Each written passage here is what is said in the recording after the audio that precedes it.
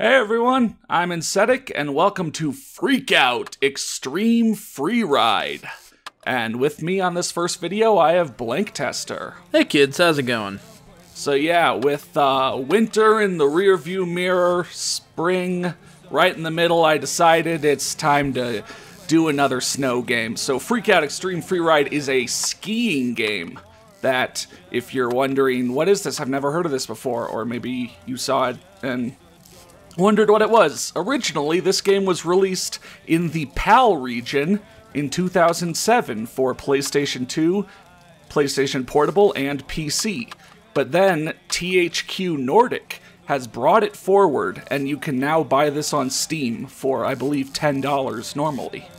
What? Oh, oh, oh, oh. Mm, That's not normal age, my dude. hey man, we're we're really fresh onto the slopes. Oh, that's where you're from. Okay. That's in Sedicville, yeah. Uh, so this game expects to be played with a mouse and keyboard, but I, you know, I, I think like extreme sports games just play so much better with a controller. So I did configure a Xbox One controller to, you know, be the be the device I use to play this game.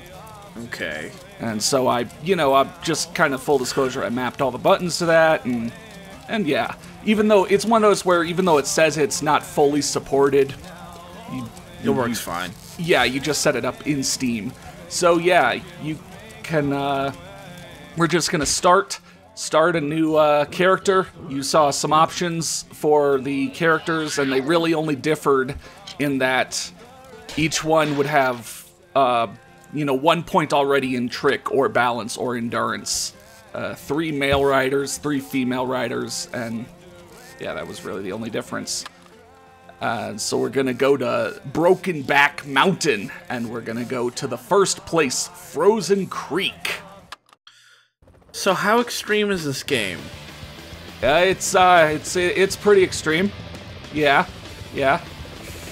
Is You it actually extreme, or does it want to be extreme? It uh, it wants to be extreme. That's kind of the vibe I got, because like You see the yeah. yeah, the little pictures of the people are like, whoa, stylized, except like everything else seems pretty. Yeah, like uh, you saw the aesthetic is kind of that notebook sketchy kind of style Yeah. that uh, SSX on tour kind of popularized. If you think about it, on tour did that, and then Amped Three had sort of that aesthetic. That's true, yeah. And this game also has that sort of aesthetic. I'm not sure on tour did did popularize it. I think it was kind of in the in the cultural lexicon already, right? Like it was it, it was right around the time when the the I, I don't know what year did this come out? Uh, this came out in 2007. Yeah, so in 7 what grade would we have been in? Because we're, Yeah. you know, our age group was like the target audience Yeah. for this kind of thing, and so like, you know, yeah, yeah, we were in like what uh, middle school, yeah, like late Yeah. middle school, high school, yeah, yeah. Because I remember Halo 3 came out freshman year of high school. Right? Uh, and that was 2007. Right. So like, so like Yeah. this was that was like the thing, the like sort of uh, notebook sketch Right. art style. Right. So, here's kind of how the levels are broken up. You start out in them, and you see a whole bunch of challenges available for you to go hit whichever ones you want. And uh, they're kind of broken up by color. So, if you see uh, like a green challenge, that's a collectible challenge. Or if you see that kind of green challenge, this is a gap challenge, which. If you keep tutorial mode on, the game will stop you right before you go over like every jump. That's to, fucking uh, annoying. That's to, really to remind annoying. you it is. So turn tutorial mode off. I'll, you know what? I'll just, you know, I'll be here to tell you what all of these are. Like you see a, a red challenge coming up. Red is a rail challenge, so you will want to grind some rails. This this one is three rails in succession. And these are the worst. Uh, don't really bother with the rail challenges unless necessary, because y- the, your character's momentum rarely lines up right. It, it either is so easy that anyone could do it, or your character's momentum doesn't really line up right. Um, so yeah, basically, then the controls. So you're always riding down forward. You're always riding down the mountain, and um, you can press a button. I don't remember what you know the keys correspond to because in my head they're you know controller buttons off an Xbox One controller. Right. But you can press and hold A button to basically carve, you know, turn and turn more sharply and slow yourself down. So if you see me kind of turn back and forth and back and forth, that's kind of how you slow down in this game. Um, and then in the air, you have uh, some grabs. You have your ski grab, or your special grab, or your other grab. And note, I'm not saying like variants of them. Like literally, you have three buttons that do different grabs, and that's all you have. like, Hooray! but yeah, yeah, like, but uh, where you'll see crazy stuff happen is that, of course, you can do spins, you can do backflips, front flips, and you can also do barrel rolls. That's something that you know you can't do in most games. So you'll see uh, some crazy spin flip combinations going down as uh, as all of your axes are used. Was that a dogger you passed? Yes, yes. So, on every one of these mountains, there will be the different types of challenges strewn about, but on every one of them, there will also be a basically collectibles challenge to find the five dogs. I mean, I love dogs, but that is really annoying. Yeah. Along with like every uh, every of these mountains will have complete this many challenges of any type, or complete this many challenges of a certain type, and then a couple high score challenges. You know, I've, I only vaguely remember this game from when you streamed it. Mm-hmm. And one thing I do remember is that Three Feet Smaller did like half the soundtrack. Yeah, yeah, you're gonna look up and notice a lot of songs by a band called Three Feet Smaller. I swear to God, they do like eight out of ten songs that can play Yeah, in this game. I don't. I've never. I never heard of them before. I don't know if they're like small or maybe. You know, your audience might actually have some people who have heard of them. I, Maybe. I, I think I looked them up and like they were super obscure. Like We should I ask Ubis if they- if he knows. Yeah, yeah. Ubis will be like, "Oh, Three Feet Smaller, my favorite band." Yeah. I own all their albums and am the lead singer. Yeah, yeah. So music wise, just since we're on that subject, when you're in the lodge, there's actually some pretty nice, kind of laid back acoustic tracks Uh-huh. that, of course, don't play during gameplay. Instead, during gameplay, it's this mix of like eight three feet smaller tracks and then like one kind of more electronica track by somewhat some other band, one more kind of indie track by some other band, and then the three feet smaller starts repeating. So Good. um, and also, for these, I will always dedicate one run to picking up all of the collectibles, or at least dedicate a segment if, for example, you can't get them all in one run. Yeah. Because pretty much as soon as you collect one of them, it counts up towards your, you know, blank out of five. And so if you got a couple in one run and a couple in another, it'll add up eventually. Yeah, yeah. Um, the other main thing is you might have seen my landing bonuses when I do land, um, and you might have seen several different. Oh God, Jesus. Oh well, there are rag. Oh well, you know, you're fine. Huh. Yeah, there are there are rag dolls, so that can make for some entertainment. So basically, you'll see a bunch of landing bonuses, and if you get like a perfect landing, it's worth 1.3 times. Or I think if it was a perfect switch landing, it was worth double. But oh. mostly, what you'll see is either repetitive, which gives you a 0.5 times multiplier, or a sketchy landing, which also halves your points. So And that's what you see most of the time.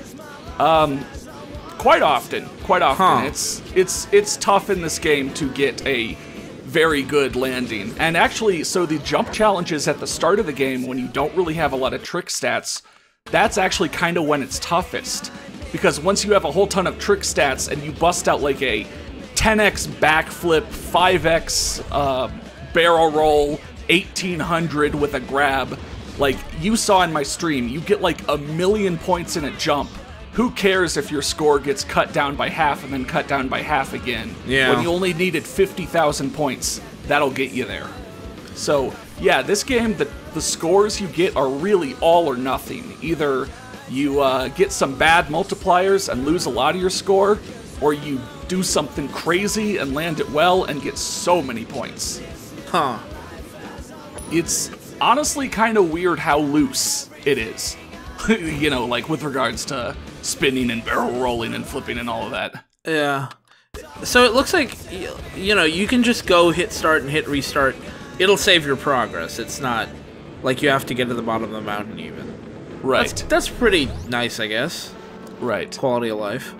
Yeah. Okay, yeah. I remember we were having some trouble finding good things to say about this game when we when we streamed it because not because the game is just atrocious, but uh, you know it it just seems kind of generic.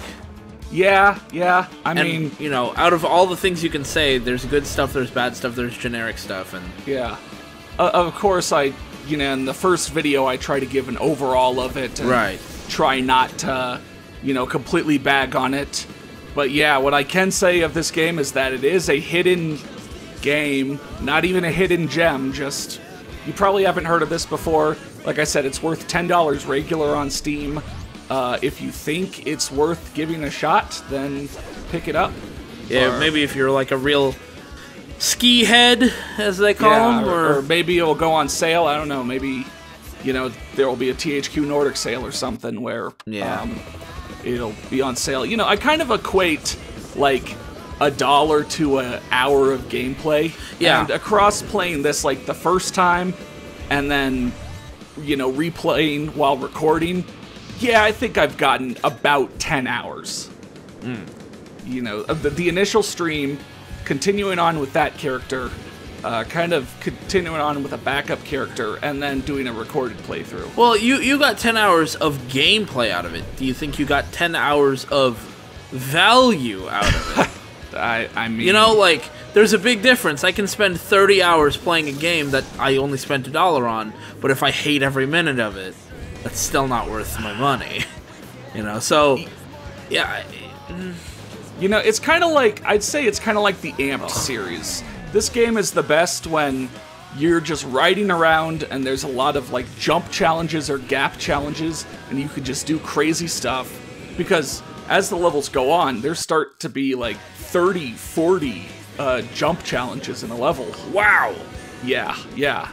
They start to get they the the levels do start to get bigger, and it you, you're just you know having fun. And then when you need to do precise stuff like the pickup challenges or especially those rail challenges, Yeah. that's that's when the game gets tough. Un- unlike uh, our qualms with the Amped series, you're mostly not required to do these kinds of challenges that are super tough. Um, you know, doing rail challenges or pickup challenges will add to do X challenges of any type will add to that goal, and there will be levels where you do need to do you know four rail challenges as one of the goals, but like you can perfectly just if a certain pickup challenge is pissing you off, if a certain rail challenge is pissing you off, just ignore it. There's really no impetus to 100% this game. Um I do remember when we were doing, or when we when you were playing the game on stream. I mentioned before, and I, I stand by. The snow in this game looks really good, actually. Um, yeah, yeah. the the trails that you leave behind look cool. You know the the smoke effects they look pretty good, especially for their time. And then the uh, the little sparkles you see ahead of you, mm-hmm. that's a very nice touch. Um, you know, like uh, that remind it, it does look like how fresh snow on the ground kind of sparkles. Right. Yeah, Yeah. man, Yeah. I just wish it was snowing here. It's a fairly pleasing game. I mean, Uh, yeah, it's- visually. it's made by this point. Yeah, vi- visually pleasing. Yeah. Yeah, it's not ugly. Yeah, and then if you're the world's biggest three feet smaller fan, it can also be audi- audioly Oh, appeasing. yeah. appeasing. Auditorially. Yeah, I, uh, audit. I'm not sure what the word would be.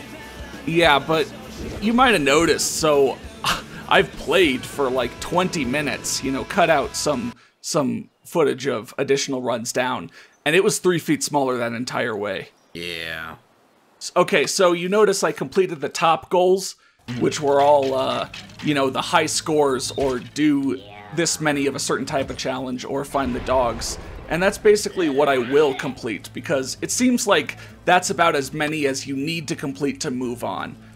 Like, actually doing all the jump challenges, actually doing all the rail challenges, all the pickups is again kind of additional.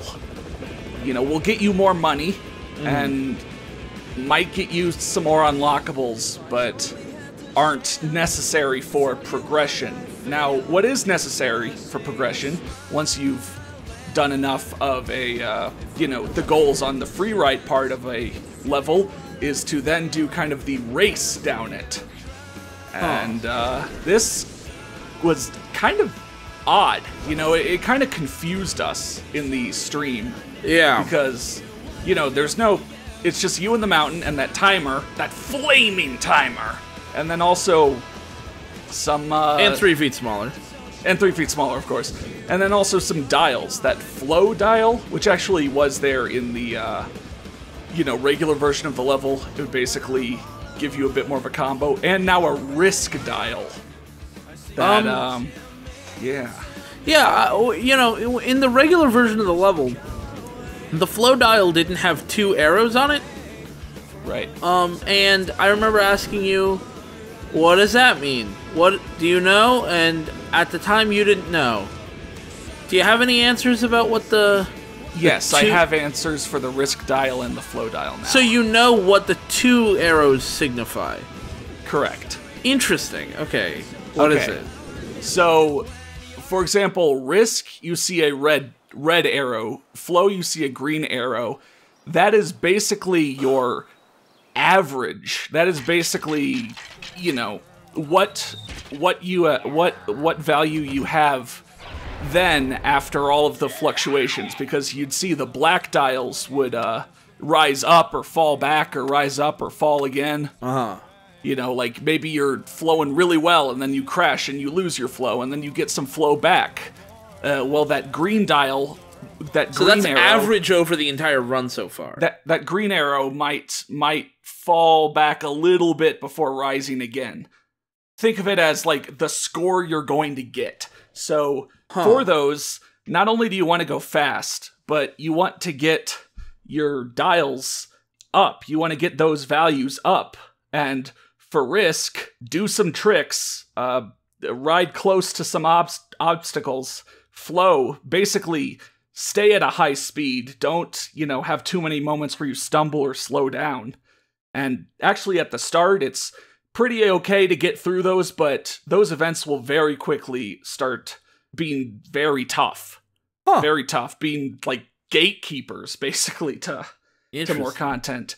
So that was the first area of Broken Back Mountain, and next video we will head to the second area and see what the rest of that mountain range has in store for us.